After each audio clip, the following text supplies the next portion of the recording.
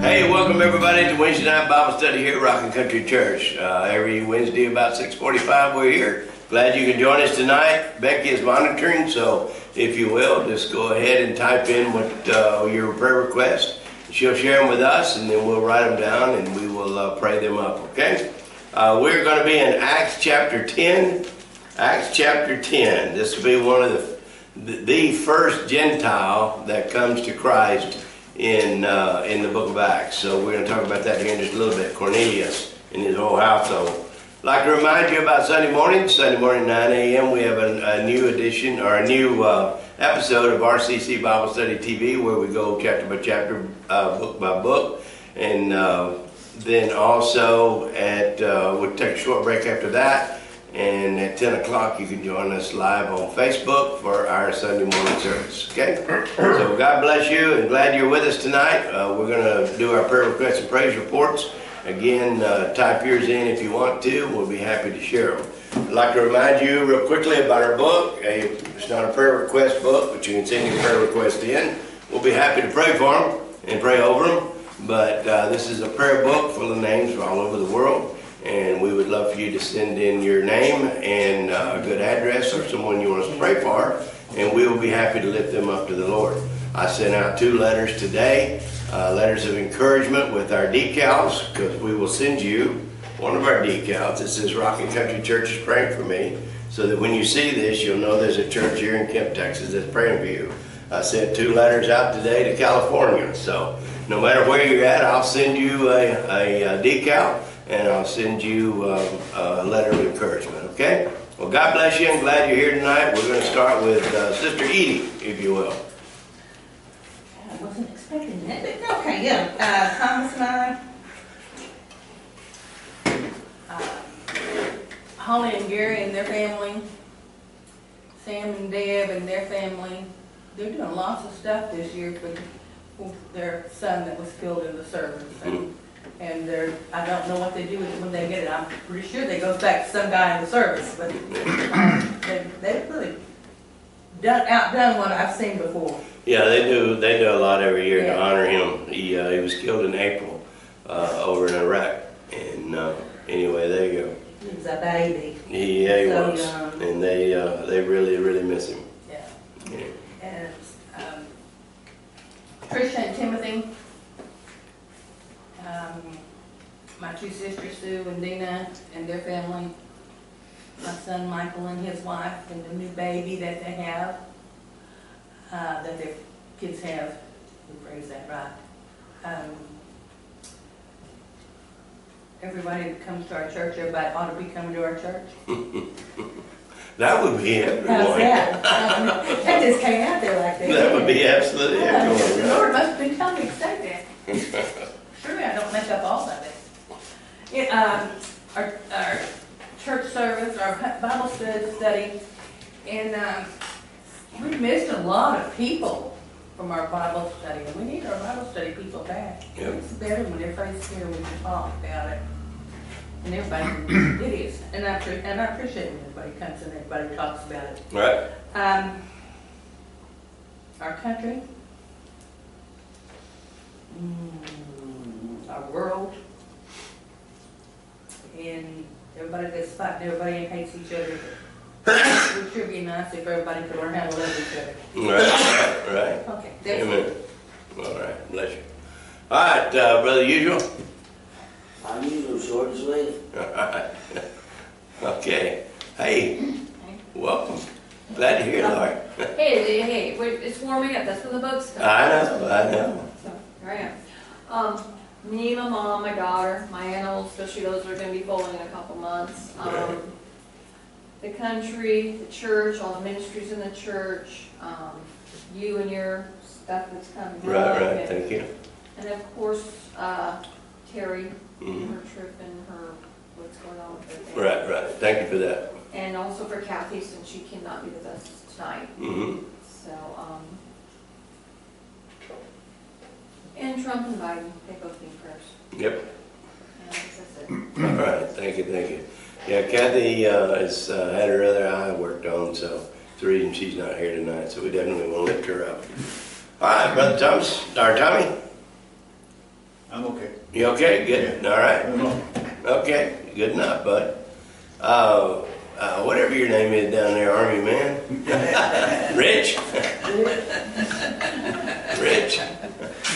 Oh, Lordy, I'm going through a very challenging time. Um, I got, uh, I had an incident today at the diner.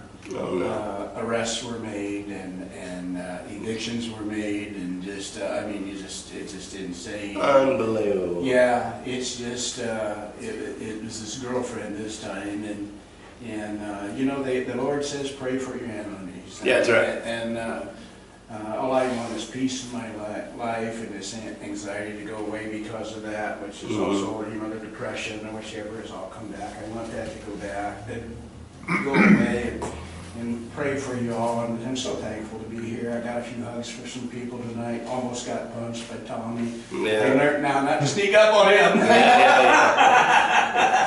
He's jumpy. I know. I, and I, I am so apologetic for that. I, I didn't know, but I should have known better anyway. But, uh, you know, He I. does it to me too. Pardon He me? does it to me too. Does he? Walk by. Does he? Yeah. Does. Caught me off guard when he jumped. I thought, oh, gosh dang, you know, I'm an on vet. I should know better than that. But it was entertaining and, There you go. and I think it bonded us a little bit more because, uh, because of that. But anyway, uh, you know, William and you and your upcoming surgery. I- Yeah. I just, I just pray every day in my morning prayers that the Lord comes, the Holy Spirit dwells within my heart and directs me and raises me up and guides me and, because I've got something to give. I just Sure. know where the Lord's going to take it all, you know, and, and, uh, and- and just, uh, just, uh, for the world, you know, we need a better, we need a better place to live. Yep. So, That's, oh, that footnote, if I could add to our book, Mm-hmm. I got a phone call from a very, very dear friend from South Dakota. His wife had a math- massive heart attack. Oh, Um, I think she's going to be okay, but, uh, but I, that's what it sounds like, they more or less had to replace or rebuild her aorta. Right. Aorta. aorta, yes, So if I could add her to, her name sure. to the book at some point, I'd Sure. appreciate that. Do you have an address on them by chance? Uh, probably. Okay, because the way that it works is to, uh, and we say it all the time to add, we'll put her name in here, but we would like to have an address so that we can send her, send him Oh, I think you. a decal and a letter of encouragement. Like I said, I sent two out today, and I'd be happy to send them one, Well, but we need a good address. I Yeah. will be, uh, Okay. before I leave, or I'll text it to you. Yeah, we'll hook them up. You bet. Yeah, yeah, I told him I would, I would bring, bring him. Yeah, but we will add her to this prayer list tonight. Do you have her name? Yes, uh, Brad and, and- Brad and Michelle Michelle. Beeler, B E E L E R. Okay, all right. Michelle Beeler, all right, and Brad. All right, good deal. We got it. Thank you. You bet. Nice ride the other day, eh? Oh, loved it. Yeah. Loved it, even, even though who I had to keep company with, it was awesome. Yeah, I know. Well, you know, the Navy does leave. Oh, so here we go. Yeah, I know, I know. It's terrible. And you did do that. Yeah. You did do that. All right, Sister Margot. You and Terry, Terry's dad, my church, my family, Rosie and Mike, my brother and sister, Myra, Beverly and Ted, Carolyn and William, Thank you. Colleen, Trail Life, American Heritage Girl, Jack Spreer, Chris and Lori, and your surgery, Uh-huh. and Kathy and hers. Right, right, okay. That's it. All right, thank you, thank you, thank you. All right, uh, uh, Carolyn, Sister Carolyn. Uh, me and William, my family and my church family, Uh-huh. um, your niece Sherry, Yes, um, you Thank you. and, you and Terry, Terry's dad and Uh-huh. sister, um, everyone here and those that are not here, um, the Middle East, our military, and Jack's prayer. Uh, amen. All right, thank you, thank you. All right, Maureen? Yes, sir. My family, our church family, military, friend of mine, Carl, lost his wife, Oh, and sorry. two unspoken. Sorry to hear that. Yeah. All right, thank you, sir. All right, number 11. All right, uh, first, uh, praises, uh, giving God all the glory for us being able to, uh, have the finances to work on our parking lot and spruce the place up for the sidewalk and, uh, just for the many things that God just keeps doing for this church. Amen. Uh, for the ministries that we have, I can't run through them all, but he knows what they are, and- and we thank him for it, for giving us an outlet to, to serve him, and that's great. Uh, I want to, keep you in my prayers, you know, for your health and just sir.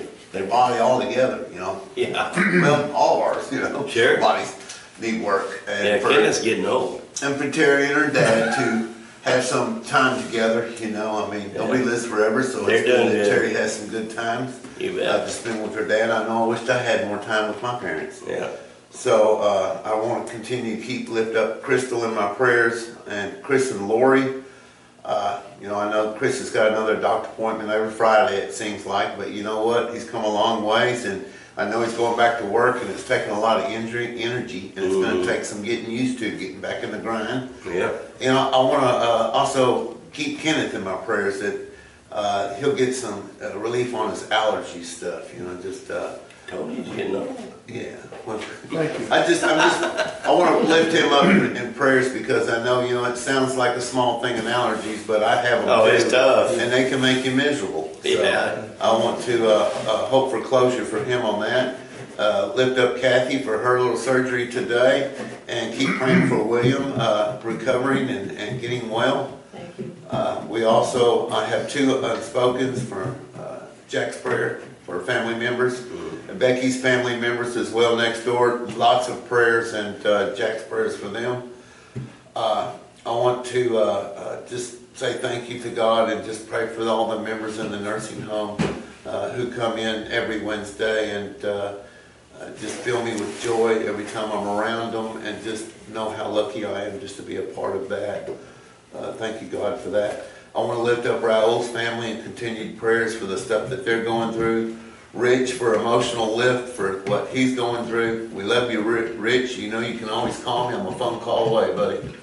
So uh, Becky and I, and uh, just pray uh, for prayers and Lord, just keep my passion stirred and, and keep me hot on the trail even when I don't feel like it and I feel like I'm tired for the next few weeks. I know it's going to be challenging to uh, be able to balance all this out, you know, the things I got going on at home. Yep, and that's it. Pastor. All right. Thank you, thank you, thank you. God is good. Amen. All the time. All right, Sister Becky.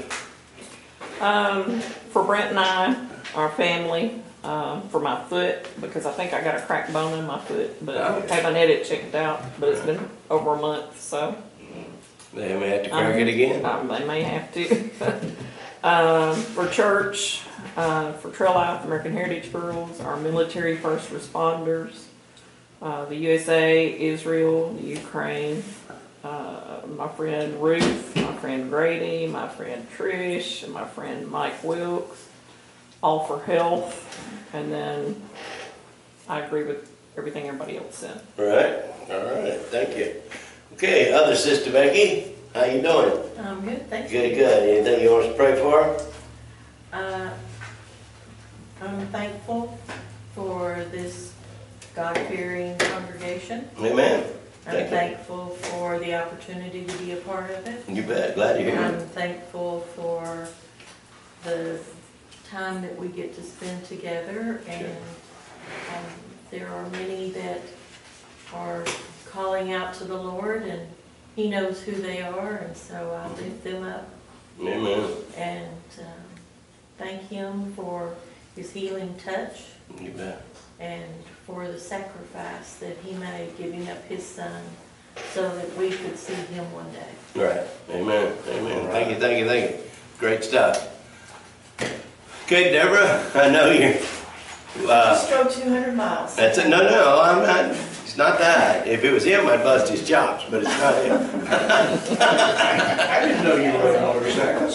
But, I'm so tired right now, Pastor. He ain't getting no fight from me. Deborah, we, uh, you're the, uh, last one. If you have anything you want us to pray up? Oh, just um, I thank uh, God for a safe journey to and from uh, see my grandkids, and uh, just, uh, yeah, pray for my daughter Uh-huh. and her, uh, her three friends who are leaving, uh, in the morning, uh, well, I guess they'll leave afterwards, uh, to go to, uh, Missouri and, uh, be back home sometime on Sunday. Okay. Right. So I will miss church. Okay. Is that it? Uh, well, just a whole bushel of, um, Sure, sure, unspoken. Sure, okay. All right, thank you, thank you. Uh, I want to especially lift up Melissa and Clark and their family and Raul and uh, Kathy and their family. Uh, they're going through some turmoils right now that uh, certainly need the intercessor of God uh, on those, uh, those family members. And then I agree with all y'all on everything. Uh, I haven't had anybody uh, this week necessarily call for anything serious. Um, I do want to lift up uh, Sherry, my niece, because it's getting closer to her uh, major major surgery, and uh, and uh, then I want to lift up our church, and of course, I hope everybody went and voted as God directed you to vote, or you will here pretty soon. I went and voted Friday, Tuesday, and. There's a couple of referendums on there that are certainly worth voting yes for, so not trying to tell you how to vote, just go vote. It's your, it's your privilege, it's not a right, it's a privilege. Go vote, okay, as God directs. Yes, sir, something Today- else? Today, the only thing, wait, is, was today the only day to vote? Oh, no, no, it's Tuesday through uh, Friday, I think it is, is early voting. And then the fifth, which I think is Monday, is, is that Monday or Tuesday or something like that? Tuesday. Tuesday is, uh, is the actual voting period. This is early voting. Did you go in now? 'Cause I- I always go in the day of the early voting, get it over with, so I don't forget. Where'd you go? Uh, you're, you don't vote where I No. vote. You vote in Seven Points, I think, at the, uh, uh, post office, City Hall. city hall. Okay, all right, good girl. All right, she, Last time they had she voted.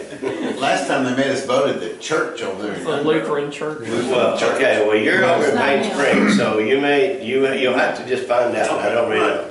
Most likely, it's the same place. Okay. It is Okay. City Hall. City Hall. Imagine No, that. okay, but he's in Payne Springs, so he probably has a different place to Well, vote. I have a Mabank address. I, I, that doesn't matter. Okay. I have, uh, I live over in Kaufman, but I vote up here at the, uh, uh, whatever, the secondary courthouse, what do they call that? Sub courthouse, Sub courthouse, thank you very much, yeah, so that's where I vote, because that's where we vote. all right? Okay. So it's, you have to find out, and most likely it's where you voted last time, Okay. most likely. all right? Three on here.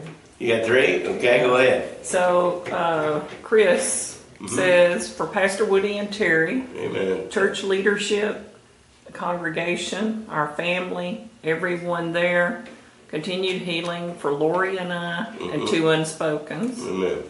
And then, if I can get it to move, Kathy Trevino says my usual.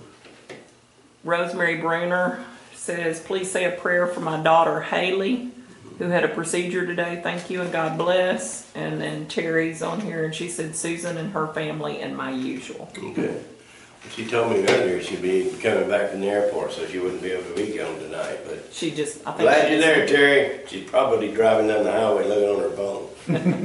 Don't do that. Is she coming home already? No, no, no. She's going back to her dad's from oh, Portland, from the airport.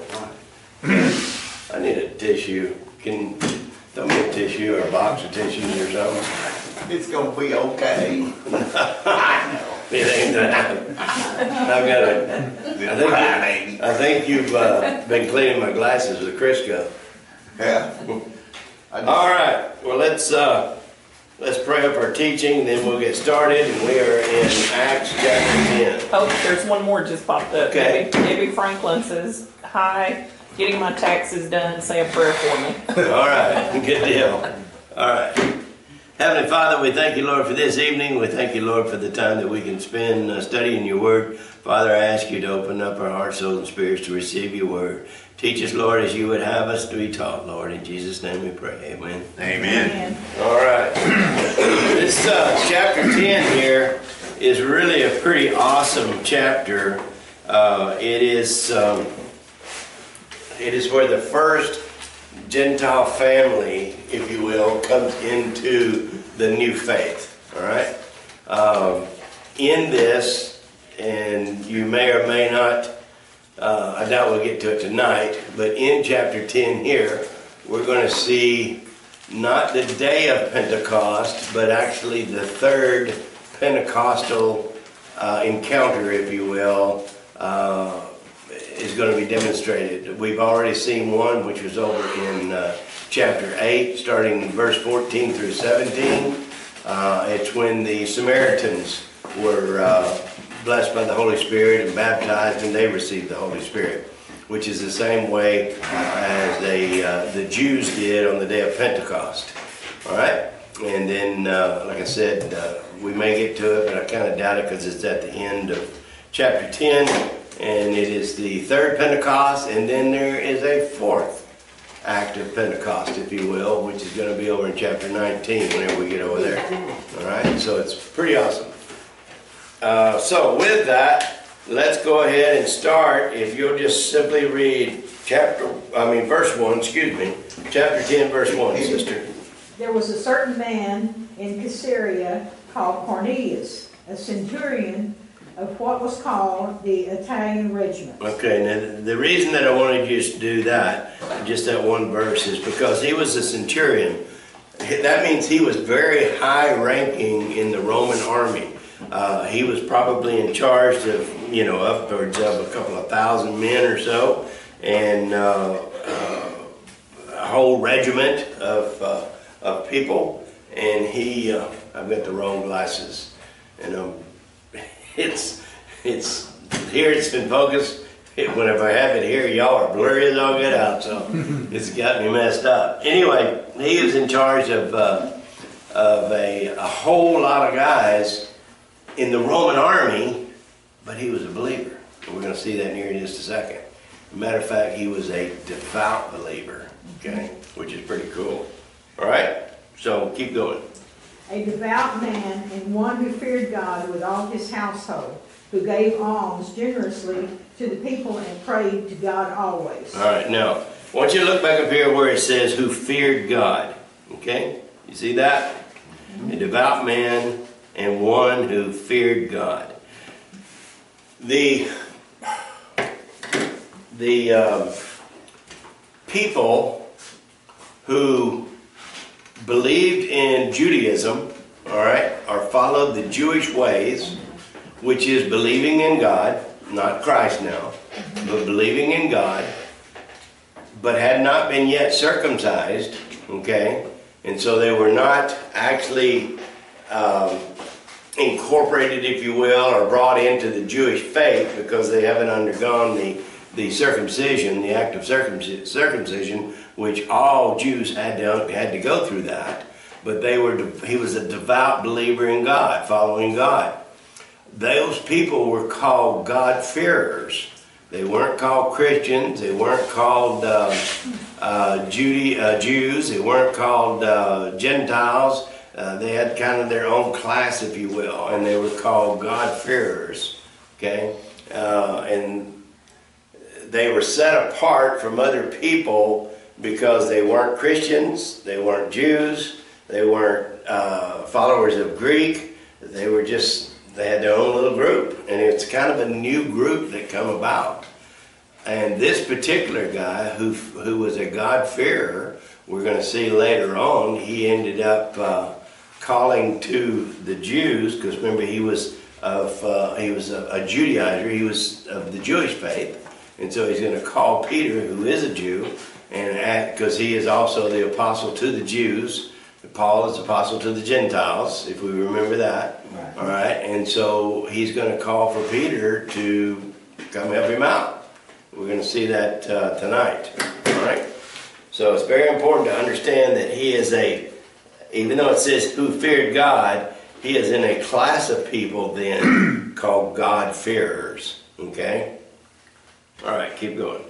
About the ninth hour of the day, he saw clearly in a vision an angel of God coming in and saying to him, Cornelius. Now, if you look at this, you see angel, small letter A, right?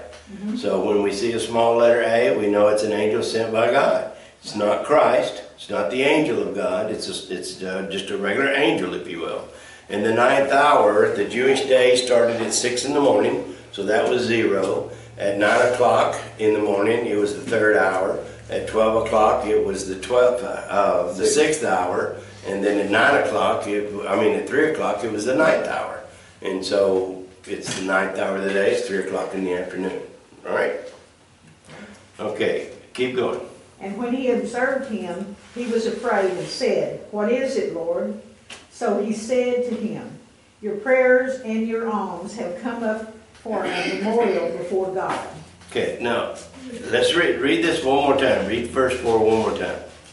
And when he observed him, he was afraid and said, What is it, Lord? So he said to him, Your prayers and your alms have come up for a memorial before God. All right, now, first thing I want you to look at, you see the, where it says Lord, that's a small letter L, right? Right. Okay, so he's only, he's only calling him Lord because he knows that he is more powerful than him, than himself. Uh, he knows he's not Lord, he knows he's not God, he knows he's not Christ, whomever, because it would be a capital letter, so it's just a small letter L. So he knows that he is speaking of of someone of power, right? Now, think about this. This is a man who believes in God, who is a Jew, all right, by heart, in his heart, a Gentile by, uh, by his, his life, if you will, and an angel is speaking to him. An angel of the Lord is speaking to him. So if an angel of the Lord can speak to this guy, who is not a believer in Christ, he's not even really and truly a Jew, can angels speak to us? Evidently. Evidently, yeah. So if we are attuned to, uh, to believing, then that opens up the avenue because he was a devout believer, right? So if we are in tune to believing that angels serve God and we pray to God and God will send angels, then there's a possibility that, like the, the song says, there's angels among us. You remember the song from Alabama? There's Yeah. angels among us? Right. I've met, met a few that I thought were angels in my life. Met a bunch of them I thought were devils, but there's a few angels too. But but we have to be open to this, you see. Uh, like I mean, this is proof that an angel of the Lord can talk to a non-believer, if you will. He's, yeah, he's a believer in God, but not of Christ. And he wasn't a devout believer to the point to where he had been circumcised into Judaism. Uh, so he was not a, really a true Jew either. He was really a Gentile. He's kind of he's kind of out in left field type guy, you know. But and those people were called uh, again God fearers. They feared God, but they didn't know all that they needed to know. All right. But an angel of the Lord talked to him, and he heard him point blank. I think that's pretty cool. Yeah. All right. Uh, verse five. Now send men to Joppa and send for Simon, whose surname is Peter. Keep going. He is lodging with Simon, a tanner, whose house is by the sea. He will tell you what you must do. Now, if you go back over into like verse 36 through 39 or 40, something like that, remember when uh, Peter was in Joppa and he raised Tabitha from the dead, okay, and then he was living with the tanner. Now, this is a Jew living with somebody who deals with dead animals, which they would never do, okay, but yet he's doing it. Right. So, and this is going to come into play in a little bit. Um, I, I can't remember exactly when, but when um, uh, I don't want to get ahead of myself, but when Peter comes to realize. uh, Peter's going to. I, I know what I want to say, but I don't want to say it yet because we're going to. It's, it's good stuff. But Peter's going to come to a point to where he realized, A, God is in charge, and B, God can do whatever he wants to do, irregardless of what our religious beliefs are. Okay? All right, and we're going to see that in a little bit. I hope I didn't confuse you too much, but it's fixing to get even better. All right. Uh, so, verse 7. And when the angel who spoke to him had departed, Cornelius called two of his household servants and a devout soldier from among those who waited on him continually. Okay, and eight. So when he had explained all these things to them, he sent them to Joppa. Okay, so he sent two of his guys. One of them was a true believer, just like he was.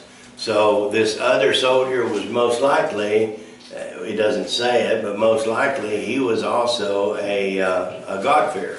And, uh, and he knew his mission, and he knew that he was subservient to uh, Cornelius. And so when Cornelius says, hey, you know, you can imagine them talking together, and he says, you know, I had an angel come to me, and the guy probably went, oh, wow, you had an angel? Are you kidding me? I hope I can talk to an angel, you know, because he believed also. He was a devout believer also. And so uh, Cornelius told him, he says, look, this is what the angel told me. And so you need to go and take a buddy with you or whatever and go get Peter and bring him to us because this is what the angel said do. And this guy's going, oh man, I get, I get to serve an angel, you know, I get to serve God by serving this angel. And so you can, you know that he was excited about taking off and, and going and getting Peter because he knew, they knew who Peter was. Okay, because Peter was, Peter was the apostle to the, to the uh, Jews. So they knew he was Peter and that, that uh, Jesus rebuked, Peter uh, that lied about Jesus. I mean, he, he know, they know Peter. Yeah, You know? because then all the people he wanted to get killed. kill. Exactly. You know, Yeah, yeah. Those people down there. Yeah. So uh, anyway, so this guy's, I'm sure, pretty excited about going and serving the Lord because again, he was a devout believer as well.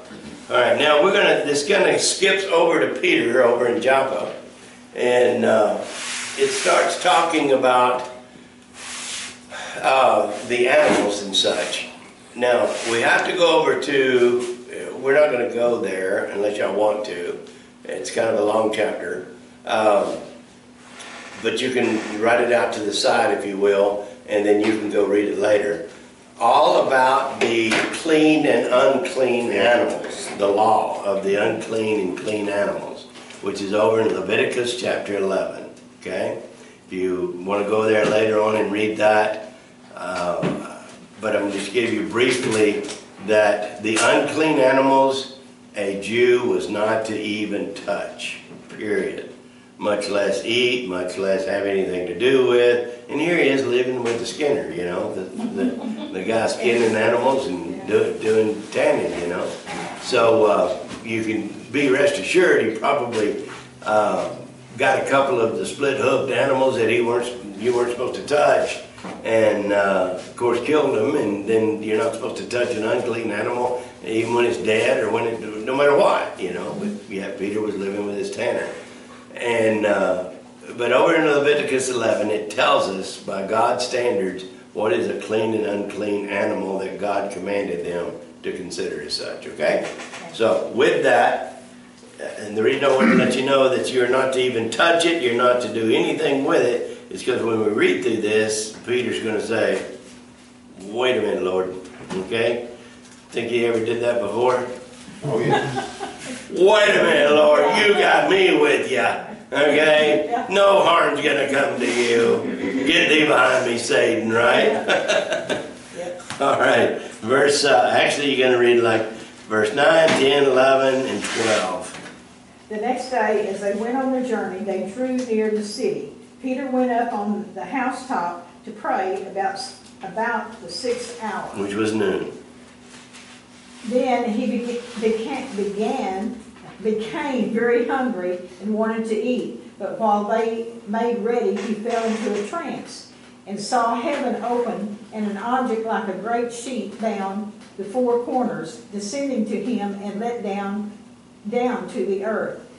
In it were all kinds of four-footed animals of the earth, wild beasts, creeping things, and birds of the air. Okay, now, this is all kinds of animals, okay? So, this is gonna bring into play the uh, ordinances or the commandments or the standards of Christ over in Leviticus Leviticus 11. Because there's all kinds, and you'll see that this does bring that in in just a minute, okay? All right, um, verse 13. And a voice came to him, Rise, Peter, kill and eat. Keep going, please. But Peter said, Not so, Lord, for I have never eaten anything common or unclean. How many times, how many times do you think Peter is going to rebuke God? I mean, the Lord said, kill and eat. And he said, uh-uh, not me. Said, Peter, what are you gonna learn? If he I think maybe God's just testing him? no, no, no, he's not. He's just being normal Peter. Uh, I don't think God's testing at all because what he's doing, does he he- what he's doing is, is he's going back to the Levitical law, which is over in chapter 11, and simply saying, I can't do it. You know, your command, I'm a Jew. Your commandment tells me I cannot eat certain animals. I can't even touch them. And then I, then I think back, Peter, you were living with the tanner. Okay? You know, you're contradicting yourself, man. You're sticking your foot in your own mouth. And, uh, Or Peter, who do you think you're talking to? yeah, and then, then Peter again. Peter says, I'm not gonna, no, not me, Lord. I mean, if the Lord tells you to kill and eat, sorry, Thomas, you're dead, okay? But we're gonna have Thomas for dinner. What, what is, what is that, what is that movie, uh, I can't think of the name of it now, where, um, Anthony, Anthony something goes, you know? What's, what is the name of that movie? Silence of the Lambs. Silence of the Lamb, yeah, yeah, so, uh, sorry about that, Thomas. We're having you for, we're gonna have you for dinner. Best meal you had? Yeah, right. Right, What's, what's that one saying in that mo- movie? Put the lotion in the basket. yeah, right. Okay, let's not go with that guy. All right. So he tells Peter to kill and eat, and Peter says, not so. Uh, You know, you, you forbid me to eat certain animals, so I can't do that. And you would think Peter would say, okay, whatever you say, you're the boss, right? Okay. All right, so uh, Fifteen. go ahead and read 15. And a voice spoke to him again, the second time. What God has cleansed, you must not call common. Okay, now, what we need to talk about right here, uh, what God has cleansed, you must not call common. If you go over to Mark 7, don't go there, but you can highlight it or go back later, and you go over to Mark 7, 18 and 19, you can see Jesus telling his disciples, he says, what goes in the mouth of a person is not what defiles them, but what comes out defiles them. So the things that go in the mouth as far as food, all right, so what he is doing there, what Jesus is doing there, over in Mark, he also does it in Matthew, he also does it in Luke. What he's doing is, is he is overriding, if you will, the Levitical laws. Okay? He is saying everything that I, well, he's going to say in a minute, everything that I make clean is clean. All right? So he's overriding those Levitical laws. And people say, oh, well, we can't do that. Those are God's laws. Well, Jesus is God. Okay? He can override them if he wants to because he's God. Right. You know, do you know that Jesus never, you know why Jesus never sinned? Because he can't sin against himself. He's the one that makes the laws. That's true. Okay? He, he makes the laws, and if he wants to change them, he can change them. Uh, I can't remember, I think it's in, uh, I think it's in Mark 4, where Jesus changes the, uh, the law of the Sabbath. He changes it from being the day to keep, uh, keep holy for the, in honoring the Lord. He says that the, the Sabbath was made for man, okay, and not man for the Sabbath. Man for the Sabbath means obeying the, uh, the fourth law of God's Ten Commandments, which is to keep the Sabbath holy and do not work, do not let your slaves work, do not any, let your, anything work, okay? But Jesus overrode that because under the new covenant which we're under, just like he overrides this, under the new covenant, we are to get our rest every day so that while we are not resting, we are serving God every day, not just on Sunday or not just on their Sabbath, which was Friday, uh, Friday evening to Saturday evening. Okay? So when God says keep the Sabbath holy, He was saying you take that from Saturday, Friday evening to Saturday evening, you take that and you are not to work, you are to keep it devoted strictly to me. Okay? Well, Jesus changed that so that we understand now we are to get our rest, and then the times that we are, as Christians, as followers of Christ, whenever we are not resting, we are to be working for God. We don't stop working. Okay? There's, we don't have a day off. Uh, retirement is not in here. Days off is not in here. Uh, holidays are not in here. Um, uh, what is Terry didn't have that. Oh, personal days are not in here. Sick days are not in here. Okay? You work. You're to work for Christ every day. That doesn't mean that you work 24 hours a day because you have to get your rest. But when you're not resting, you are supposed to keep God first and foremost in your life, right? Right. Okay? Which means sharing Him with whomever, uh, praying with Him, studying your scriptures, um, watching uh, certain things on the tube, if you will, whatever, however you are spending time, okay? You're to spend it with God. 20, okay, I'll say you work eight hours, or sleep eight hours, I mean. So, so 16 hours every day, you're supposed to be with the Lord. He made every day a Sunday. He, he, he walks with you every day, absolutely every day. So you're to be with him every day and keep every day for him. Every day is for him, not just. That's why people. It just irritates me, I guess, when people, and I'm glad they do, but whenever they come on Easter and they come on Christmas, all right, and they think, oh well, you know, God's gonna love me the rest of the year because I come on Christmas and I come on Easter. Well, He would love you a whole lot more if you just lived your life for Him. And that's what we're supposed to do. That's why Jesus changed that. Because we're supposed to live our lives every day for Him. Not just on Sunday. We don't come in on Sunday to punch our ticket. You know, we come, we, we serve Him and worship Him every day. We're supposed to anyway. I know a lot of people that come Monday, they forgot they went to church on Sunday. Oh, yeah, well, we we're not going to judge anybody, but No. I do too. Their actions say I do too. I do too.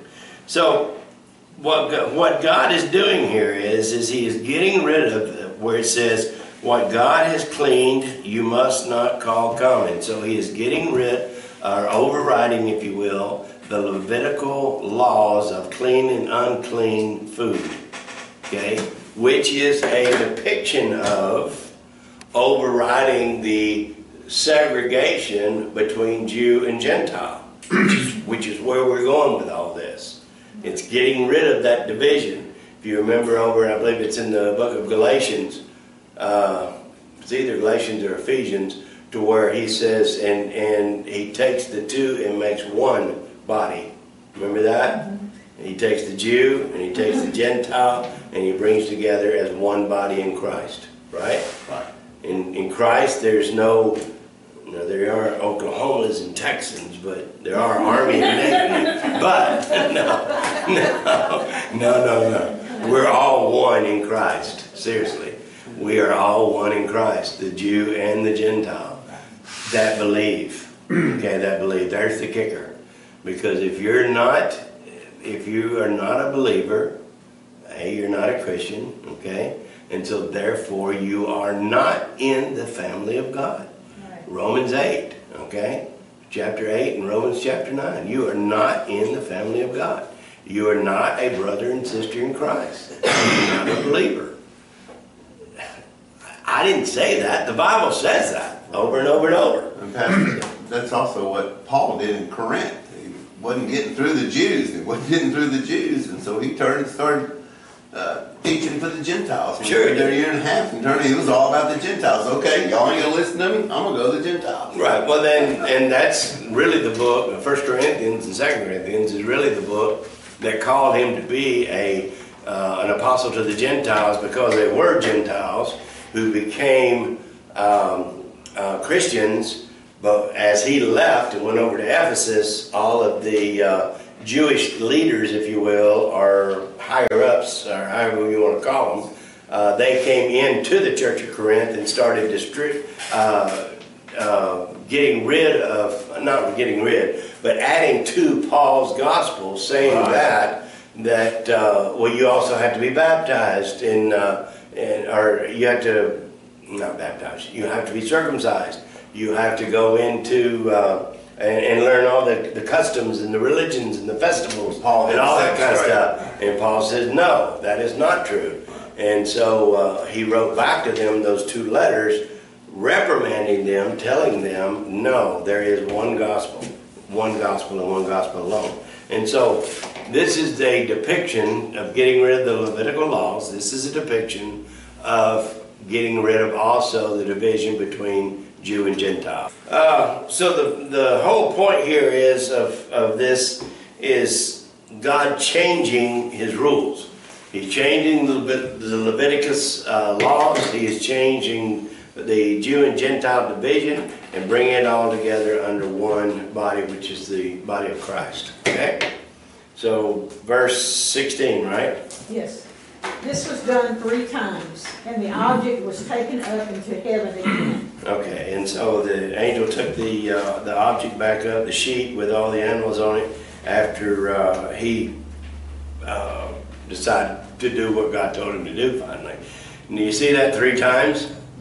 So you remember three times? three times, Andy. Yeah, three times kinda hits Peter right between the eyes a bunch of times, right? It takes three times for Peter to. Yeah, and guess what? We're gonna see three times again later on. So, anyway, all right. So we're recording here, so those of you who are gonna have to look at this at the recording, I'm sorry, but it's number 11's fault again, and uh, we'll try to do better next week, okay? All right. Okay. Uh, Peter's summoned to Caesarea, so, Now while Peter wondered within, within himself what this vision which he had seen meant, behold, the men who had been sent from Cornelius had made inquiry for Simon's house and stood before the gate. So this is Simon the tanner again. So they went all the way over to Joppa in order to uh, uh, talk with uh, to get Peter. 18. And they called and asked whether Simon, whose surname was Peter, was lodging there. All right. Uh, I'm sorry. Simon was uh, Peter's surname, Right. but uh, Peter is the name that, that Jesus gave him. And yes, of course, he was there, and so uh, uh, Peter is uh, is entering them. So we'll keep going. While Peter thought about the vision, the Spirit said to him, Behold, three men are seeking you. Arise therefore and go down and go with them, doubting nothing, for I have sent them. Keep going. Then Peter went down to, to the men who had been sent to him from Cornelius and said, Yes, I am he whom you seek. For what reason have you come? Keep going. And they said, Cornelius, the centurion, a just man, one who fears God, and has, has a good reputation among all the nation of the Jews, was di- divine, Divinely. divinely instructed by the holy angel to summon you to his house and to hear words from him. Okay, now, all that really kind of goes together from 17 all the way to 22. I didn't look at my notes here, so I'm sorry that I just didn't let you go. But only in 22 do we need to see one who fears God. There's the God-fearer again, if you will, all right? And he was sent by a holy angel, divinely instructed by a holy angel to, to come here. So it's not like this uh, uh, Cornelius just says, hey, you know, you guys go, go get Peter uh, because I want to talk to him. And uh, it also stated here that he, he was a centurion, he was a, uh, uh, uh, high up in the army of, uh, of the Romans, and um, he was of a good reputation among all the Jews. So the Jews knew of him, but yet he was not a Jew, but they knew of him. It would be kind of like uh, uh, I know of, and I don't know Paul Roberts extremely well, but I know him pretty well. I know of him. I know a lot about Paul Roberts. He's a pastor down at River of Life, of course. And I know a lot about him, and I've visited with him many times, et cetera, et cetera, et cetera. But I don't know all about him, you know. He's not a part of Rockin' Country Church that we meet every Sunday with, that kind of thing. you know, but he is a brother in Christ, I know. And they felt the same way towards this Cornelius, you know, the Jews is, you know, he's a great guy. He's a, he's a, he is a devout believer in God, just like we are.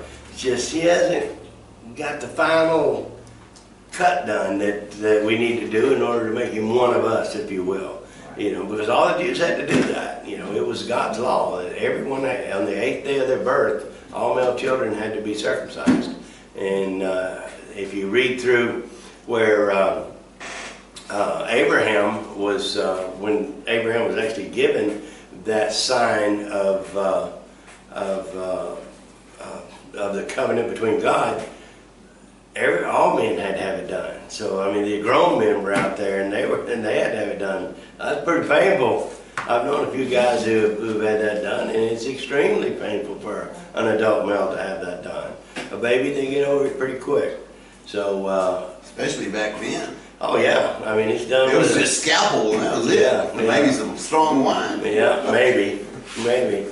So, uh, you know, he had to, he hadn't had this done yet, but they, they entrusted him as one of them up to that point, okay? He would, he, until that was done, he would never be one of them, but he was almost, they entrusted him that much. And so, uh, they, they would actually stand for him, if you would, uh, ag- against any opposition. All right, twenty-three. Then he invited them in and lodged them. On the next day, Peter went away with them, and some brethren from Joppa accompanied him. Okay, so he not only went with these three guys, but he also, some of the, uh, the Jews that were with him, went with him also on this journey, okay? This is gonna come into play later on. All right, um, verse twenty-four. And the following day, they entered Caesarea. Now Cornelius was waiting for them and had called together his relatives and close friends. All right, now this is gonna build here, the reason that I want to just notate that you, or get you to see this, together with his relatives and close friends. In other words, he called a whole bunch of people in, all right? Remember in the day of Pentecost, there was hundred and twenty there? When the Holy Spirit come, we're added to them, how many? Three thousand, three thousand. So this is kind of like that, that another day of Pentecost, if you will, because he invited all of his uh, family and his friends and all that who believed, who believed to come and join. So this was a large gathering. Okay? Uh, 25. As Peter was coming in, Cornelius met him and fell down at his feet and worshiped him. 26 also. But Peter lifted, lifted him up, saying, Stand up, I myself am also a man. See, now, uh, Paul did this uh, uh, early, or not in this book, over in, uh, I think it was First Corinthians. I know it was, in First Corinthians. Uh, He said, For who am I? Who is Apollos? Who is Barnabas? We're just men, we're just people. So this is a very good depiction. Even though Peter is this high and mighty, self-indulgent type person, he still is professing Christ is the, the head of all things and that he is just a man or a servant of Christ. Which is good for Peter, and you would never expect it from Peter. You would expect Peter to come in and go, yeah, I'm here, buddy, what do you need? I got you taken care of, okay? Old Peter's here, let's get it, you know? Instead, he is saying, look, I'm just a guy. Just a man. Yeah, which is kudos for Peter finally. You might think he's getting some Brains. brains. okay, all right. Um, where did we leave off? 27. 27? All right. And as he talked with him, he went in and found many who had come together. Found many. Found a bunch of people. There's a bunch of people there. Keep going. Then he said to them, You know how unlawful it is for a Jewish man to keep company with or go to one of another nation. But God has shown me that I should not call any man common or unclean. There you go. Now, this is going back to him getting rid of the Leviticus laws or the laws that we saw over here in uh, 9 through 16, uh, down around 14, 15, and 16, where Jesus started getting rid of the, uh, uh, the God, if you will, started getting rid of the, uh, the unclean and, clean uh, uh, laws of feasting or laws of eating, if you will. There's, there's, what God makes clean is clean, all? Right. So if God is bringing the Jews and the Gentiles together, okay, then who is to oppose that? All right? So he's getting rid, again, this is where he's getting rid of the separation between Jew and Gentile. He's bringing Gentiles into the fold. This is, this is not a Jewish guy, okay? Is not a believer in Christ yet, mm-hmm. all right? But it is a, he is a believer in God. But God has sent him to get Peter, St. Cornelius, to get Peter, to bring him there, to bring him a message. Nowhere in here did it say that uh, Cornelius, uh, uh, Cornelius sent his guys to get Peter to come and bring Christ to him. We haven't read that yet. We haven't read anything like that says that yet. Okay? He did not send his guys to say, hey, I want to hear about the gospel of Jesus. Hey, I want to hear about the way. Hey, I want to hear about the church. Hey, I want to hear about the Christians. He didn't say any of that. None of that's in there yet. All he did was he heard from God, go get Peter so that Peter can bring a message to you. And then God went to Peter and said, look, I'm getting rid of the, uh, the unclean and clean laws of eating. You eat whatever I tell you to eat because if I make it clean, it's clean. Now I'm also letting you know, as Peter says here, he says that the Jew and the Gentiles are to come together as one because if God makes it clean or if God brings it together, it is to be done. Okay? So, I mean, it's kind of like, wow, Peter got a guy revelation. Cornelius didn't even know he was going to get one. You know? And, uh, and all the other people that were there are now seeing what God is doing with Peter, who is a Jew and the apostle to the Jews. Uh, Jesus has sent him, or God has sent him to a Gentile. Because he's not really a Jew, and he's, so therefore he's a Gentile. All right? All right? You can call him a Greek, you can call him Gentile, same thing, I've explained that before. But if you're not a Jew, you're a Gentile. And now Jesus uh, is telling, or God is telling Peter, bring the two together. Because he says right here, God has shown me that I should not call any man common or unclean. Well, what did he say back over here in verse uh, 15? What God has cleansed, you must not call common. See?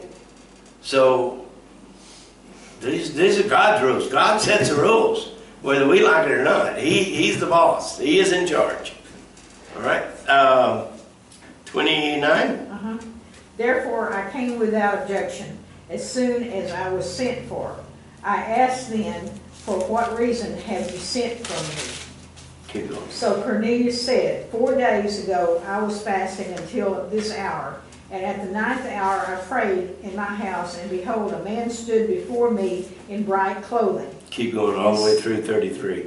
and said, and said, Cornelius, your prayer has been heard, and your alms are remem- remembered in the sight of God. Okay, stop there for just a second. Now, when it says, and your alms have been remembered in the sight of God, it doesn't mean, and we, we, a lot of times we'll relate to that as uh, alms for the poor, you know, need money or whatever. But the alms here is representation of his worship, okay? His prayers, his worshiping, his belief, his trust, etc., etc., in God, all right? Not money. Keep going. Send therefore to Joppa and call Simon here, whose surname is Peter. He is, he is lodging in the house of Simon, a tanner by the sea. When he comes, he will speak to you. So I said to you immediately, and you have done well to come. Now therefore, we are, are all present before God to hear all things commanded you by God. Okay, now there you go. There's your kicker right there. All things commanded you by God. So Cornelius is saying, I don't know why I'm why I called you here. Okay? I don't know why God said go get Peter. I don't have any idea. All I know is is I believe God and an angel came to me and said go get Peter. And so I sent my guys to go get you. And since you were coming, and I knew it had to be from God that whatever message you were going to bring, I got everybody else in here, Then all my loved ones, my friends, my, my family, etc. I got them in here because if it's from God, we all need to hear it, right?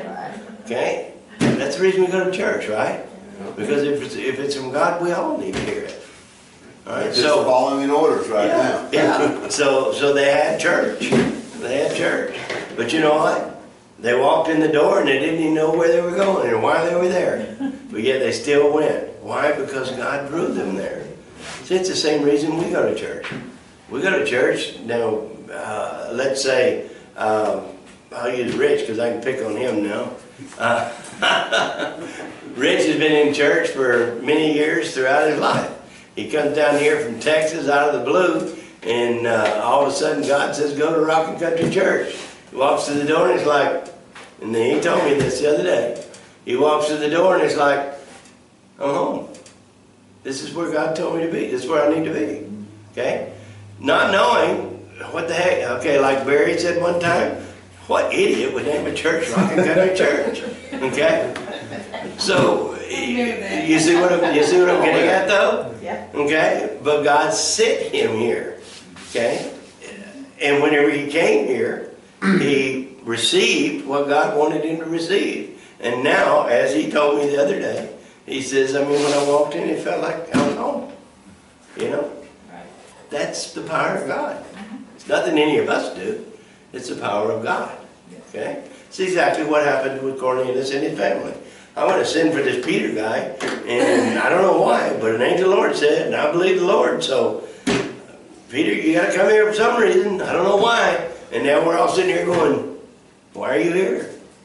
You know, So it was their obedience. it was their obedience, yeah, the obedience to God. And uh, because he was a devout believer, okay? And then whenever, like I said, whenever he gets there, they're all sitting there thinking, okay, we know you're supposed to be here, but we have no idea why. So what's the word? Because I know it comes from God. That's why he says right here, he says, Now therefore we are all present before God to hear all the things commanded you by God. Okay? We know you got a message for God for us, but we have not a clue what it's about. So let us know. Lay it on us, right? All right. Uh, yes. Okay. This is this is uh, his his um, second Peter's second sermon. His first was on the day of Pentecost. This is his second sermon. It actually goes 34 through 43. I would suggest we go ahead and read it, and because we're going to read all the way through it. And just remember, this is his second sermon, and we should be finished up in time to beat the clock. Okay? Okay. All right.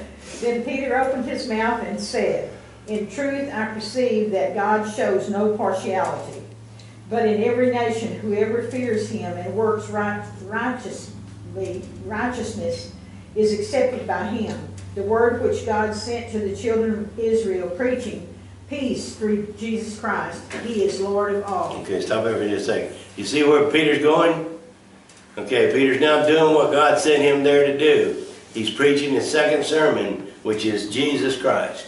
All right, keep going. that word you know, which was proclaimed throughout all Judea and began from Galilee after the baptism which John preached, how God anointed Jesus of Nazareth with the Holy Spirit and with power, who went about doing good and healing all who were oppressed by the devil, for God was with him. Okay, stop for half a second. All right, remember up 37 where it says the baptism of John, baptism of John? That's John the Baptist, which is the baptism of repentance for sins, right? All right, and then I want you to see this, because this is what we're teaching on on Sunday. With the Holy Spirit and with power, okay? With the Holy Spirit and with power. Then keep going. And we all, we are witnesses of all things which he did both in the land of the Jews and in Jerusalem, whom they killed by hanging on a tree. Him, him God raised up on the third day and showed him openly, not to all the people, but to witnesses chosen before by God, even to us who ate and drank with him after he arose from the dead. Stop there for just a second. You see that? But with witnesses chosen before him by God. Remember when Jesus arose and he walked the earth for 40 days and showed himself to those who believe, not to everybody. but to those who believe. Okay, keep going. And he commanded us to preach to the people and to testify that it is he who was ordained by God to be judge of the living and the dead. To him all the prophets witness that, through his name, whoever believes in him will receive remission of sins. Okay, now if you receive remissions of sin, that means you're forgiven. If you're forgiven, therefore you can be saved, all right? Without forgiveness, there is no salvation. So that's Peter's second sermon, and it is a powerful sermon. In this particular sermon, he is not um, uh, criticizing the Jews for what they did, even though he mentions it by hanging Jesus on the tree, of course, but he is praising God for Christ that came, and by and through Christ, and through Christ alone, through the gospel, we're saved. Okay? We're, we're forgiven and we receive our salvation. So this is the long form of the gospel, if you will. So if you ever want to uh, preach the gospel to somebody, just use those scriptures right there. Memorize them and use them all. Okay?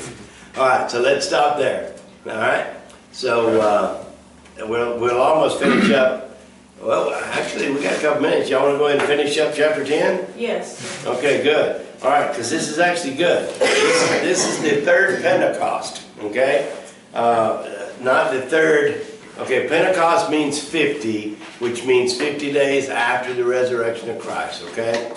So this is not 50 days, this is many days after that, but it is the act or the semblance of Pentecost. And this will be the third one that is in the book of Acts, all right? So, uh, 44 through uh, 48. While Peter was still speaking these words, the Holy Spirit fell upon all those who heard the word. Okay, stop for a second. Fell upon all those. See that?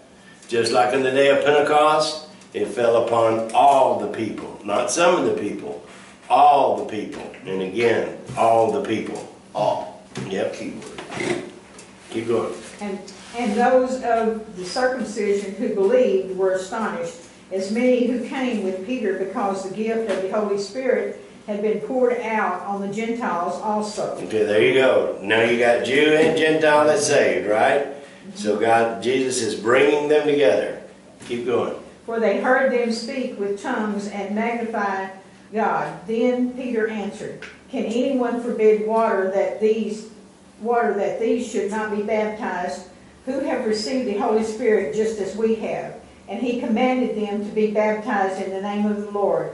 Then they asked him to stay a few days. All right, now, if you notice on that, after they had received the Holy Spirit, they were baptized, right? Right. So they were baptized in the water. All right. What baptism did were they baptized in the water? Remission of sins, right? Okay. Which means that on the day of Pentecost, which is back over in chapter two, there was no baptism done there in water. So therefore, and this is what I try to stress all the time, the true baptism is the baptism of the Holy Spirit, receiving the Holy Spirit. The people that were baptized over there in chapter 2, they were not dunked in any water. However, Peter, because Jesus says to do this in remembrance of me, to baptize in water, in John's baptism, that Peter carried it forward and did the baptism in water. This is what we do now. Okay? You receive the Holy Spirit, you are baptized in the Holy Spirit, then you show your public proclamation by being baptized in the water. Okay? If they did not, if Peter did not insist on going down to the water or wherever it was, I mean, they could, they even sprinkled sometimes back then. If he did not insist on doing that in the baptism of John, uh, then they would still be baptized in the Holy Spirit because they've already received the Holy Spirit. It said right there. Okay? So whenever we go out and tell people, no, the baptism in the water is just your public proclamation and showing everybody else what you've already done in your spirit. And they said, well, no, no, I got to get baptized, I got to get dunked in the water. The water has nothing to do with your baptism, not the true baptism. The true baptism is the receiving of the Holy Spirit. And you can do that just like they did in the upper room at Pentecost, just like these people did right here in Cornelius' house. You can do that wherever you're at. You can do it driving into work down the highway. You know, it doesn't matter where you're at that you can receive the Holy Spirit. You can do it, I don't know, bowling in a bowling alley or something. You know, you, just whenever it, the Holy Spirit urges you and you decide to receive Christ as Lord and Savior, the Holy Spirit comes upon you at that moment. Okay, no matter where you're at, what you're doing. Okay, then you go out, and this is why we do the baptism the way that we do. Uh, if, if somebody says that they have received Christ as Lord and Savior and they want to be baptized in the water, I schedule it two weeks out. I try to, so that they can invite friends to witness, to witness. Okay, and so uh, and then they can rejoice in their baptism, knowing that they have that they're doing their public proclamation of what has already been done in their heart, and then their families and all can celebrate with them. Okay.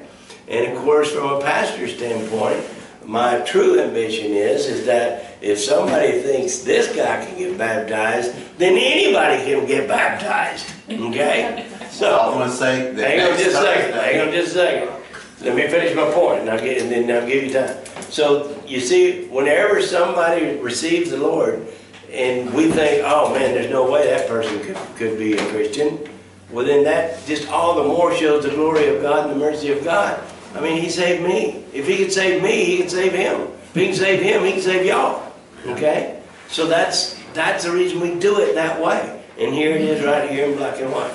Okay? What you got? I bet you was looking on the calendar and next Thursday marks my two years. Marks my two years He was since, baptized two years since ago. I got the Holy Spirit. Do we need to do it again? No. Oh, okay. I'm just kidding. I'm just kidding. All right, so we're good, right? So- Yes, ma'am. So Sure. confirmation uh, for that one thing on the cross. Yeah, exactly. There was no water there. Yeah. Yeah, he received the Holy Spirit, or he he received Christ, that's the best way to put it, which is the Holy Spirit, of course, which is God. Okay, he received Christ, and he recognized who Christ was, and he worshiped Christ. He says, I know you are who you are, and when you get to your Father's house, will you please just remember me? He humbled himself, and Christ says, today you will be with me. Okay? Amen. So it has nothing to do with the water. That's simply what Jesus tells us to do in remembrance of Him, which is the baptism of John the Baptist, which is a cleansing of their sins, a repentance of repentance of your sins. Okay? And the apostles, if I ain't mistaken, including Paul, were not baptized in water. Right. And they're in the upper room, they got the Holy Spirit, that was their baptism right Yeah. there. Yeah. All right. Uh, okay. Um, actually, they didn't receive the Holy Spirit until the day of Pentecost. Also, remember Jesus said, "Wait until you receive the Holy Spirit." Yeah, when they're upper room in the flame of tongues. and Yeah, all that, Yeah, that's what I'm talking Yeah, about. okay. Not, not the upper room, Yeah. no, whenever they were with Christ. Right, okay, good. I just wanted to clarify, all right? Yes, sir. All right, so we good with everything? Anybody got any questions on anything? All right, good enough. Uh, Brother Kenneth, you'll press out. Don't forget our verse, please. Huh? Forty-four verses, you did good. Yeah, Oh, he's coming. here we go. All right. Dear Lord, thank you for teaching us tonight. We appreciate our Bible study and learning more about your plan. We lift up our prayer book to you. There's so many needs in there. We know you'll answer those in a manner that will glorify you. Lift up our country and Israel to you tonight and pray for all the military that are abroad and serving in the Middle East. Dear Lord, we always ask you to guide and protect our first responders, police, military, and political leaders. Jesus' name we pray, amen. Amen. For those who are still watching, oh, well, not watching, but for those who uh, will watch, I apologize, it's my bad, and I'm gonna blame it on Brett.